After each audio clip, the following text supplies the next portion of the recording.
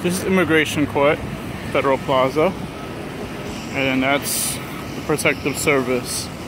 Immigration, everything like that. That's one of the Homeland Security trucks. Then we have the slick tops, which are these guys over here. Federal Protective Service. FPS. So it's like immigration and homeland security, all these different Department of Homeland Security trucks. So there's like a few of them. They're all the same, just some have lights and the other ones don't. On top.